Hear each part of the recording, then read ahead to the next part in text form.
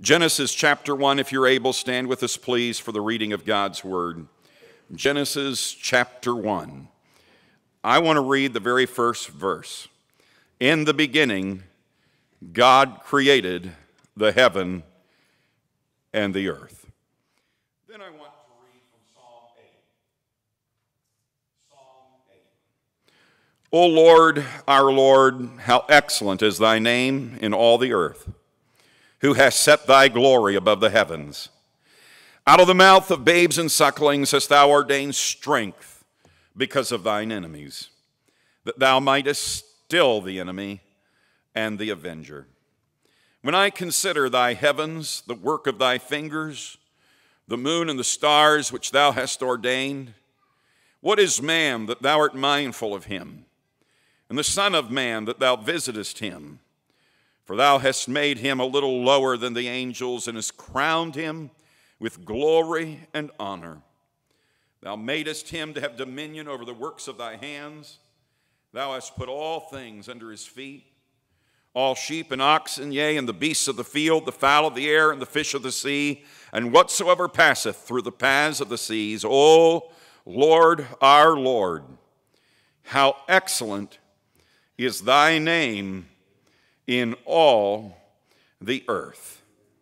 Shall we pray? Father in heaven, we're in need of thy help today. Accomplish your purpose through this message. We ask it in Jesus' name. Amen. Thank you. You may be seated.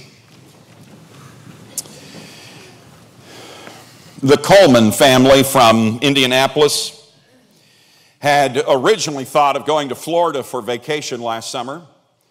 But some of the older relatives thought it a little far, so they settled on Branson, Missouri, just a little over seven hours from their home. They rented a van, and 11 of them made the trip together. They got to Branson, enjoyed their first night. The next day, they, they all bought tickets for a boat ride on the famous Ride the Ducks and uh, a hilarious ride through the city on an open air vehicle that can also float like a boat.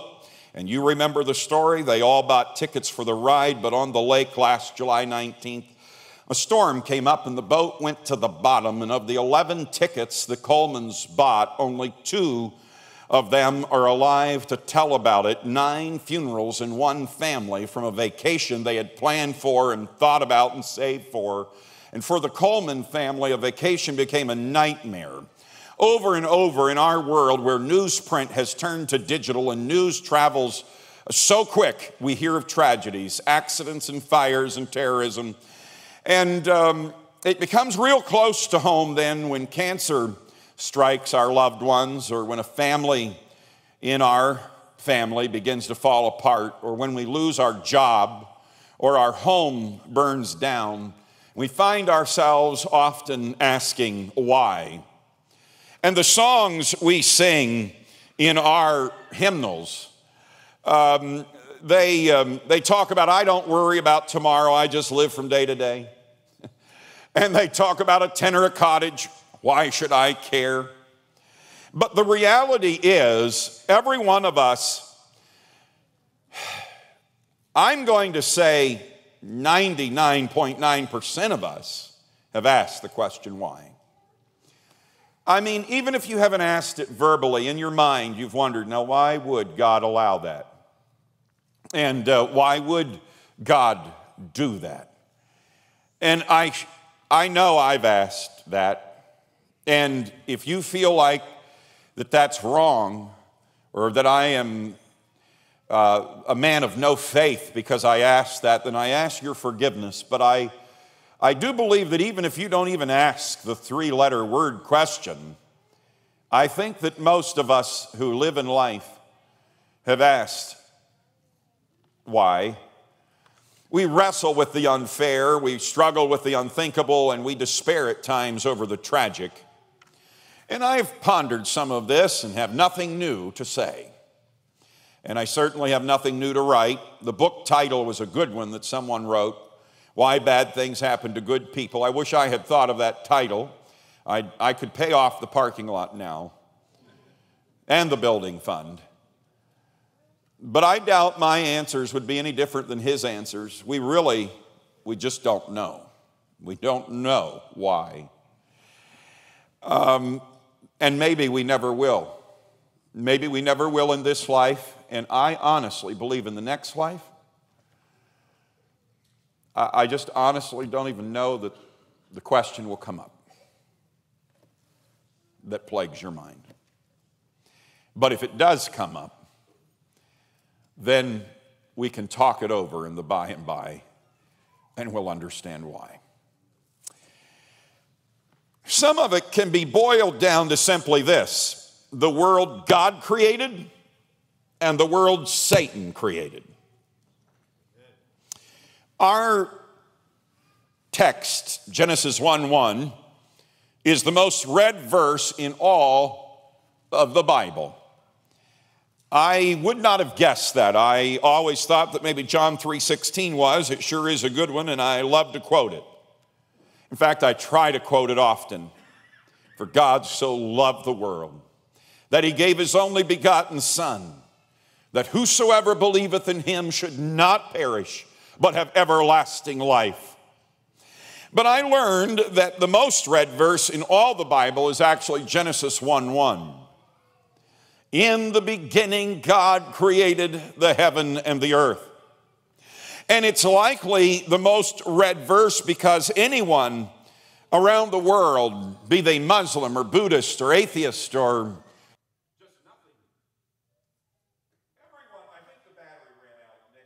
turn this on. I noticed it was really low. I think Pastor Schaefer used it last. Not really. I think we're good. I'll just stay here behind the uh, mic. Um, these people around the world who want to know about Christianity, maybe a Gideon Bible in a hotel, they're going to pick up the Bible and where do you start reading? You start reading page one, verse one. What a great place, really, to start. In the beginning, God. And one said about this verse the golden key to the entire Bible is hanging right on the front door. In the beginning, God. So let's look at the world God created. First of all, God created a world that was good. Over and over, as you read through the first pages of the book of the, the first book of the Bible, you will read how he created this and he created that. And um, verse, uh, I'm looking here at verse 12, you know, and God saw that it was good. And uh, you look over at verse 18, he creates uh, the day and uh, the night and divide the light from the darkness. And God saw that it was good. And anybody who's ever watched a sunset and a sunrise, and it happens every day, every single day, God said it was good. And do you look down here, he created great whales, verse 21, and every living creature, every winged fowl. And God saw that it was good. Verse 25, uh, the beasts of the earth, the cattle, the creeping things, God saw that it was good. And so, all of these things, God created a world that was good. You know, I don't know just how long Adam and Eve lived in a good world. I, I personally think it was a while, a long time, where disease was not a thing, where no storms threatened, where the rose had no thorn, where nothing bad was ever posted on Facebook. God created a world that was good. I noticed, secondly, God created a world that was alive. There were no funeral homes in the beginning of Genesis. Uh, there were no deaths recorded. Uh, the world that God created didn't have Cain killing his brother Abel. God created a world that was alive. I noticed, thirdly, that God created a world that was safe. I woke up at about 2 a.m. the other morning to a clanging on the front porch. It was a bear right outside our bedroom window. He stayed there a while and feasted on bird seed that I had stored there. He enjoyed it very much. In fact, he came back about an hour later. I took several pictures. I kind of enjoyed it. My wife is quite upset about it to this moment. And she has done all sorts of things to ensure that the bear does not come back, even to the point I come home the other day, she has some kind of speaker wire running through the front window and a speaker on the front porch, and she's playing gospel music. As if the bear does not like gospel music. The safe world that God created, I could have went out on the front porch, visited with the bear, stroked his fur, and fed him an apple. I believe that with all of my heart. Fourthly, I believe God created a world that was love. He didn't, you know, He didn't need us. He was not lonely. Uh, it almost appears that God was lonely, that He creates man. I've thought about that, but really He wasn't lonely. He did not need to feed His ego. Do you know why He created us? Because He loved us. He created us out of His great love, because from the foundations of the world, no, I don't understand that. You don't understand it. I don't understand a lot of things. But Ephesians 1 4 says, He hath chosen us in Him before the foundation of the world. Jeremiah 31 3, Yea, I have loved thee with an everlasting love. And He wanted a beautiful home for us to live in that was, that was good. From the study of scriptures, God created us because He loved us, because He just wanted to, and He's allowed. He doesn't need any other reason. Queen Elizabeth doesn't go around all day asking permission to do this or do that. And, and she's just a 93 year old woman who is going to die the same way all of us are going to die, and she will, uh, she's just, just like you, and just like me. She, she's just a person. I'm talking about the King of Kings and the Lord of Lords. He doesn't have to ask anybody permission. And he doesn't have to have a lot of reasons that you understand. He loved us from everlasting. He created us out of his great love because he wanted to. That's the world God created. And then there is the world Satan created. It happened in an instant. I don't understand all of this either. I don't understand this at all, except that evil has always existed, just as good has always existed. God wasn't about robotics. He didn't create us from the foundation of the world to be robots like I saw in Williamsport Hospital just the other day visiting Fred Phillips. And, you know, I come around the corner and there's this robot moving down the hallway with a blinking light. Or I was in Giant. The Lutzes are at Mount of Blessing Camp, but Tim works in the um, meat department over at Giant. And I went into Giant uh, just a few weeks ago. How many have been in Giant and seen the new robot? I'm telling you what, I hate to tell you, I don't know if I want to go back in Giant. That was a spooky robot. It was as tall as I am, I believe. Have you seen that? Has anybody else seen that robot? And it, and it moves through the aisles. It's about as tall as me. It is very scary. Who wants to be scared when you go for groceries?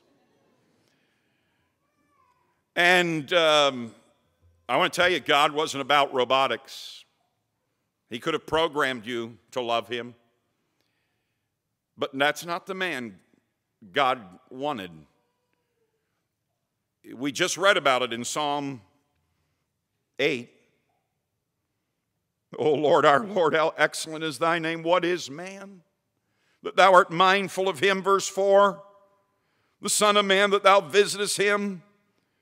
You're just a little lower than the angels, crowned with glory and honor, to give you dominion God wasn't creating a robot to roll down the hospital aisle or down the aisle, down the bread aisle at Giant Market saying, I love you, I love you, I love you. God wasn't about creating robots. God was not creating a chess piece in a cosmic game. We are not upon.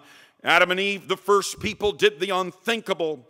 They were created with the ability to choose, just as you are created with the ability to choose. A great freedom that God gave every one of us, a freedom of our own will. Adam and Eve, the first people, did the unthinkable, ushered in a world that Satan wanted with a sinful choice. I really wrestle with understanding how sin could enter such a good place and wreck such a good plan. I certainly don't wrestle alone.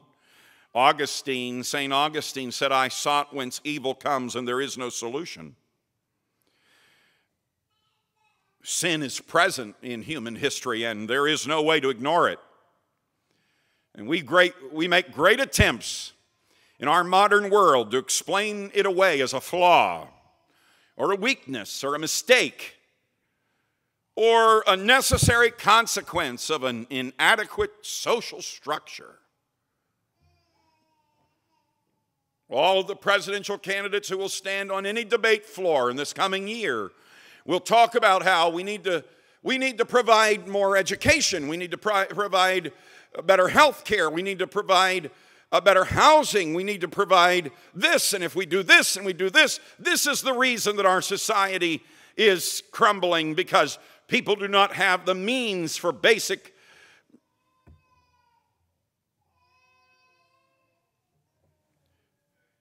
We really wrestle with this. Oh, but it's much more than that. There is a kingdom of light and there is a kingdom of darkness. And as one said, sin is an abuse of the freedom that God gives to created persons so that they are capable of loving Him and loving one another. God has given you the freedom to make it you capable of loving God and loving people but sin is an abuse of that freedom. Whence and why and what for, I do not know, but Adam and Eve chose sin, and we now live in a small sense, we live in the world Satan created. And what a different world it is compared to that world that God called good. First of all, while God created a world that was good, Satan created a world that was evil. This is a twisted, vile place where addictions seek to control their victims and where little children cry themselves to sleep. Where our pastors visited the bedside of two individuals this week who attempted to take their own life. We pray for them and support them and pray that God will bring them to the light, that there is hope with Him. Well, God created a world of life, Satan created a world of death. The funeral business has always interested me, and you guessed that, that I am such a dead, dry, boring person. I'll let you know my first job was working for Cronrath's Funeral Home. Parking the cars, doing other things, but it's not all that interesting at all when it's people you love. People I have pastored, people like we have had to say goodbye to here in the last years, friends and family. Facts are, I hate death. We call it the dying process, standing by the bedside watching for the last breath. I've been there for some terrible deaths, and I hate it. This is the world that Satan created. Thirdly, while God created a world that was safe, Satan created a world that was full of hurt. We see the faces of little children abused and violated. It's a hurt that is not fair. I hear the cries of anguish from the mother holding her child in her arms, victim of war. It's not fair. This is the world that Satan created, and it's not fair. It's full of hurt. Fourthly, while God created a world of love, Satan created a world of hate. James chapter 1, verse 15 when lust hath conceived, it bringeth forth sin, and sin, when it is finished, bringeth forth death. When a family like the Coleman family goes on vacation and comes home to nine funerals, when whatever you are wrestling with that strikes you as unfair, when those few things, and I've not been through anything compared to what you've been through, but the devil always makes it personal. To that person who's here today who has lost a loved one in tragedy, or to that person who you missed last Sunday and nobody called to say that you were missed. It doesn't matter what it is, the devil is all about making it hurt. When the thing in your life that you never understand, the thing that sometimes you have to ask, where was God? The question is not, why did God do this? Or why did God allow this? Or why, why, why? The question is really that you're going to have to really come to grips with is what world are you going to choose to live in?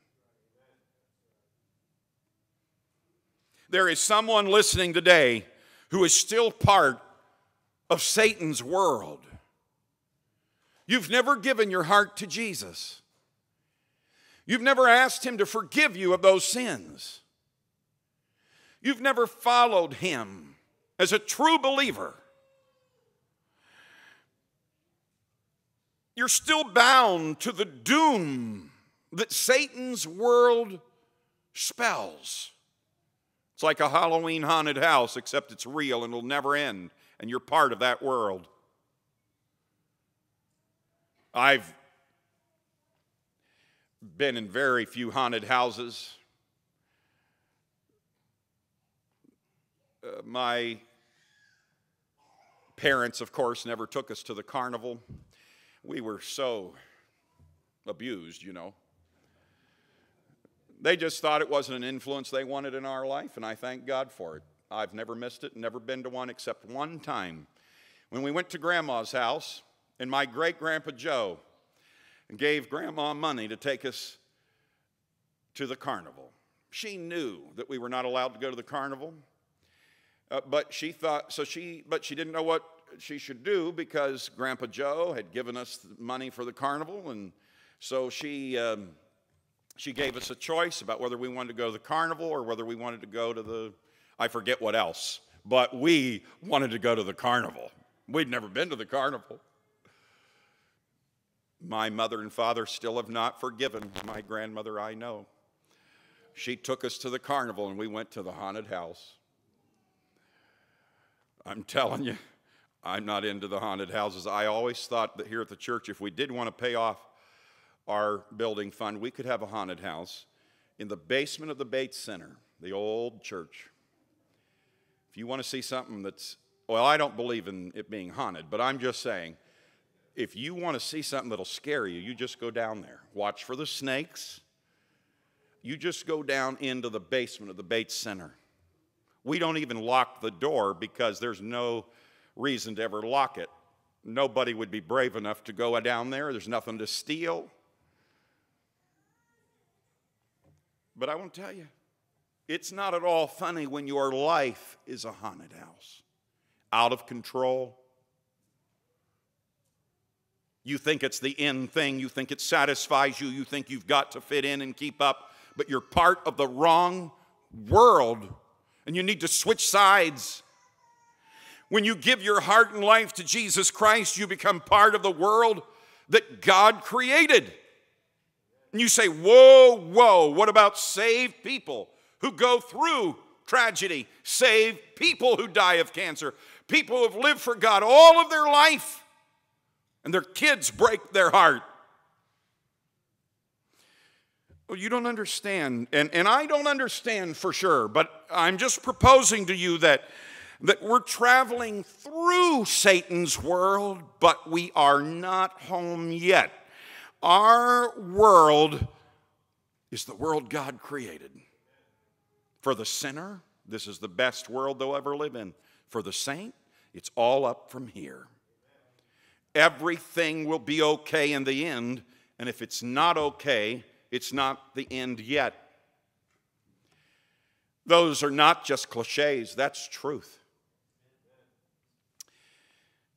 And I've heard Brother Statler mention different times of his father in law, Regina's father, Brother Agan, was dying. He was good friends with his doctor. The family was in the hallway feeling that they should, the doctor should talk to their dad. He went in, he came out. The doctor was moved upon, and he said, uh, I told Brother Agan, and I guess the doctor even called him Brother Agan. He had such confidence in him. He said, I, I told Brother Agan, we're losing ground. And Brother Agan looked up at me and said, Oh, doctor, we're not losing ground, we're gaining ground. Let me tell you, it's up from here. Revelation chapter 21, verse 4 God shall wipe away all tears from their eyes, and there shall be no more death, neither sorrow nor crying, neither shall there be any more pain, for the former things are passed away. The songwriter said, This is my Father's world. Well, to a degree, it is. It's hard to erase his fingerprint off the face of the globe. I was traveling through this week through some of the most beautiful of God's creation. It just leaves you in awe. And to realize that this is still a marred place because of sin. This is just his footstool. For just a little while, it has become the world Satan created with war and terror and murder and suicide and addictions and divorce and funerals and cancer and earthquakes and storms.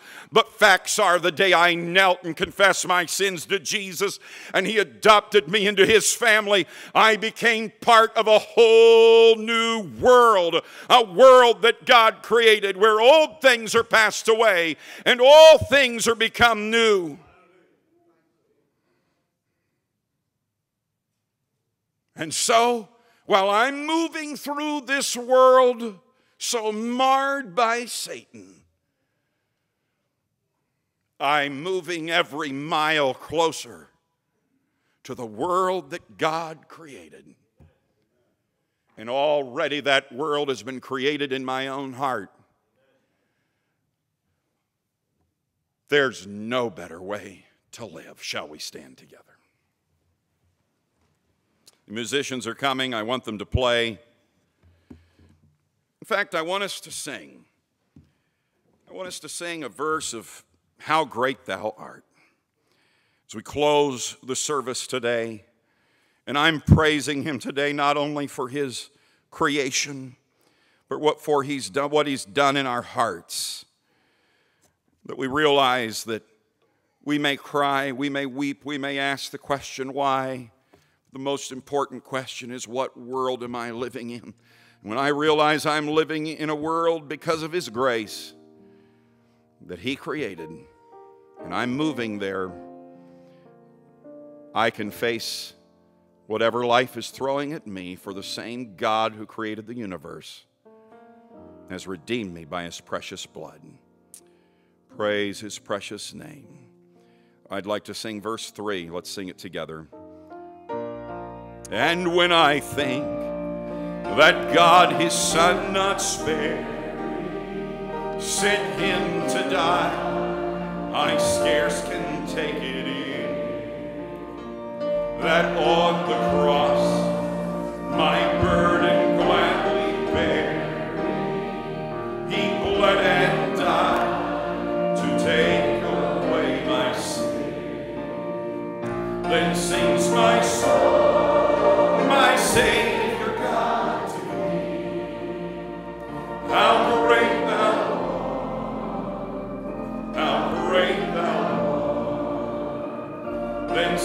my soul, my Savior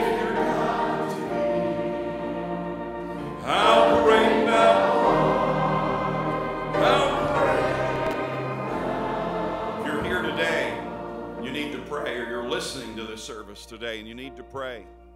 You can come to this altar. You can reach out if you're online to someone who is ready to pray with you. And I would urge you to bring your burden to the Lord, bring your need to the Lord, bring your life to the Lord. If you need to be saved, if you need to be sanctified holy, if you need to be filled with His Spirit, come to this altar. We'd be delighted to pray with you before we go home today. Praise the Lord. Oh, how He wants to move you out of the world that Satan created into the world that God created. Let's sing verse 1.